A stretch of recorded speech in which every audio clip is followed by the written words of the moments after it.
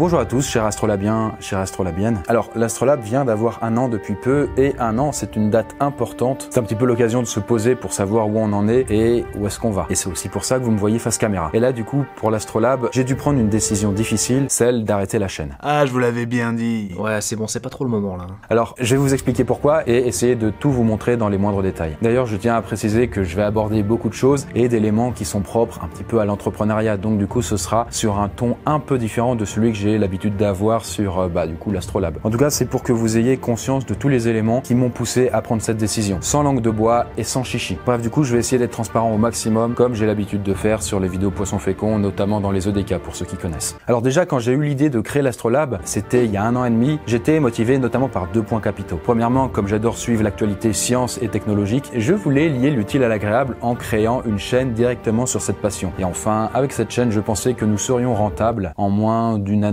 Bref, voilà pour les deux points et je vais revenir sur chacun d'eux juste après. Mais petit point préliminaire, dans la réalité, pour ceux qui ne le savent pas, je suis euh, le patron du Kundar, donc l'entreprise que j'ai créée il y a quelques années grâce à l'argent que j'ai pu générer grâce à ma chaîne principale Poisson Fécond. Autrement dit, voilà, je suis chef d'entreprise et dans les bureaux qui se trouvent ici, nous sommes 17, moi compris. Bref, autrement dit, je dois gérer plein de gens et de projets différents. Il y a ceux qui bossent sur la chaîne l'Astrolab, que vous connaissez, il y a ceux sur la chaîne Poisson Fécond, et il y a aussi ceux, une autre équipe du coup, qui bosse sur les jeux vidéo.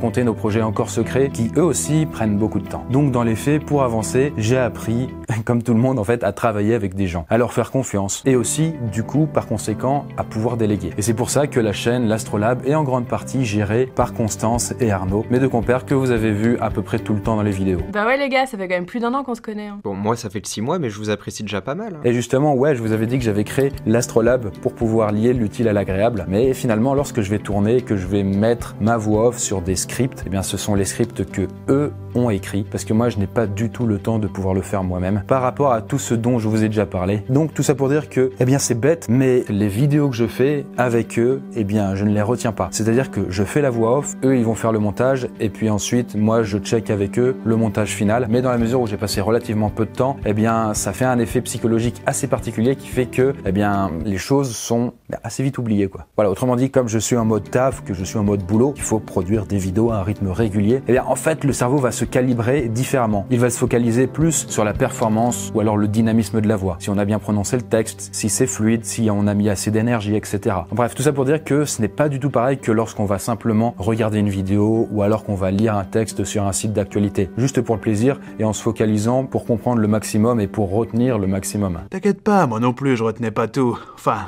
c'était surtout parce que ça m'intéressait pas. Merci Cowboy pour tes interventions, toujours aussi pertinentes plus. Et c'est pareil au montage, des fois on fait toute une vidéo, mais on fait vraiment attention au rythme, y a des, des petits détails tout le long, et parfois on se surprend à finir une vidéo en sachant à peine de quoi elle parle. Et enfin, concernant la rentabilité de la chaîne, pour être totalement transparent avec vous, ces derniers temps, enfin quand on publiait des vidéos à un rythme régulier, avec juste les pubs YouTube pour se rémunérer, l'Astrolab rapportait au maximum 1000 euros par mois. Alors ça peut vous paraître beaucoup, mais vous allez voir qu'il n'en est rien. Et puis quand on faisait des opérations commerciales sur la chaîne, ce qui est arrivé à 2-3 reprises, je crois, bien du coup ça pouvait doubler ou tripler ce chiffre, mais comme je vous l'ai dit, c'était extrêmement disparate. Mais bon, en contrepartie, comme nous avons deux personnes à temps plein qui travaillent sur cette chaîne depuis le début, et divers frais comme les ordinateurs, cela représente un coût pour l'entreprise d'environ 4000 euros par mois. Donc voilà, les chiffres parlent d'eux-mêmes, nous perdons beaucoup d'argent et les fonds de la société ne sont pas infinis. Après, en soi, qu'un projet coûte de l'argent, comme c'est le cas de l'Astrolab, et qu'il nous en fasse perdre dans un sens, c'est normal, surtout à son début, et ce n'est pas forcément grave. C'est ce qu'on appelle communément un investissement dans le futur. On parie que la chose sur laquelle on met un billet, euh, on va dire, pour parler crûment, deviendra plus profitable. En fait, vous voyez, c'est exactement comme les jeux vidéo que nous créons avec une autre partie de l'équipe, qui, à l'heure actuelle, sans vous le cacher, ne rapporte rien. Mais sauf que entre l'Astrolab et les jeux vidéo, il y a une différence fondamentale que je vais aborder avec vous. Pour vous mettre un petit peu dans ma tête, avec le Kundar, je me suis fixé un but, une mission, celle d'avancer. Nous devons aller de l'avant dans l'espoir de réaliser des projets grandioses dans le futur. Un jour, sur l'autre chaîne, Poisson Fécond, je vous expliquerai pourquoi tout ça est si important et quels sont les objectifs que j'ai en ligne de mire. Allez, c'est bon, arrête le suspense, dit là. T'inquiète Eric, tout viendra en temps et en heure. Et du coup, là, je suis arrivé à un carrefour en ce début d'année 2020. Je me suis posé de manière lucide et j'ai essayé d'analyser de manière froide et rationnelle quels étaient les projets du Kundar qui étaient porteurs. Par exemple, la chaîne Poisson Fécond ou au contraire ceux qui avaient le potentiel de nous amener loin, comme les jeux vidéo. Et du coup, l'Astrolab n'était dans aucune catégorie. voilà, ça fait un peu brut de décoffrage, mais c'est un peu l'idée qui ressort. Après, quand même, que ce soit bien clair, j'aime cette chaîne, j'ai adoré ce qu'on a fait dessus, les retours constructifs que vous donniez, l'identité qu'on a pu derrière la chaîne. Et puis l'équipe avec qui je bosse est géniale et on s'entend très bien. Seulement, bah, j'ai plus 15 ans, voilà, j'en ai plus du double à mon corps défendant. Et pour ceux qui l'ignorent jusqu'ici, bah, ce n'est pas une bande de potes que je paye à base de kebab, mais des personnes qui ont une vie à côté, qui ont des loyers à payer, des charges, etc. Et chaque décision que je prends, celle d'arrêter ou de continuer un projet qu'on peut lancer, eh bien, ça a des conséquences. Et ça coûte de l'argent et de l'énergie à l'entreprise. Après, je pense sincèrement que l'Astrolab, si on attendait un an ou deux ans de plus, pouvait devenir rentable. Seulement, c'est encore un an ou deux ans. Mais aussi, quelque part, est-ce que cette énergie ne pourrait pas être utilisée à meilleur escient en l'allouant ailleurs? C'est donc pour ça que j'en ai parlé à Constance et à Arnaud et qu'ils sont d'accord pour bosser sur la chaîne Poisson Fécond, en écrivant des scripts ou en montant des vidéos. Quant à Eric ou à Charles, c'est lui qui interprétait le cowboy, bah le premier est monteur principal pour la chaîne Poisson Fécond et Charles est rédacteur. Donc pour eux, bah ça ne change rien. Sur ce, bon ben du coup on arrive un peu euh, au bout de tout ça. Merci pour votre suivi et votre soutien tout au long de cette aventure. Ça a été génial, je ne regrette rien, je suis content d'avoir pu créer cette chaîne et même si là elle s'arrête, c'est aussi pour démarrer quelque chose de nouveau. Et en même temps ça permet d'apprendre, d'accumuler de l'expérience et ça ça n'a pas de prix. L'Astrolabe, dans tous les cas, je vous le dis, restera toujours dans mon cœur. Et pour le mot de la fin, je tiens quand même à laisser Constance et Arnaud s'exprimer eux-mêmes, mais pas avec leur avatar, mais cette fois-ci avec leur vrai visage. Moi, c'est bon, je suis prête, j'ai plus peur. Voilà. voilà. Bon, bah, salut à tous.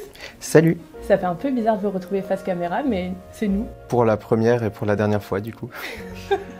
Bon bah moi je voulais vous dire merci beaucoup pour toute cette année. Euh, j'ai vraiment adoré travailler sur l'Astrolab, c'était trop chouette et j'ai appris vraiment plein de choses. Et puis merci pour toutes vos réactions en commentaire, ça nous a vachement encouragés. Voilà, c'est tout.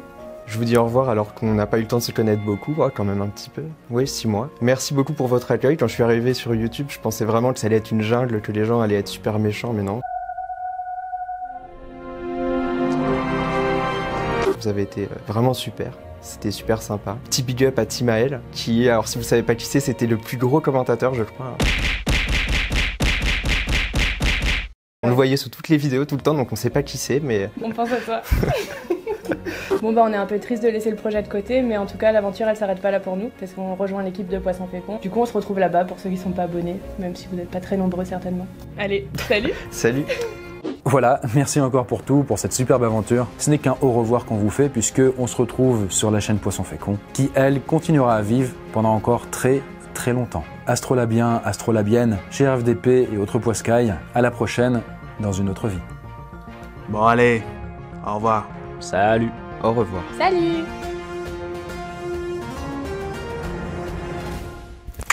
Ciao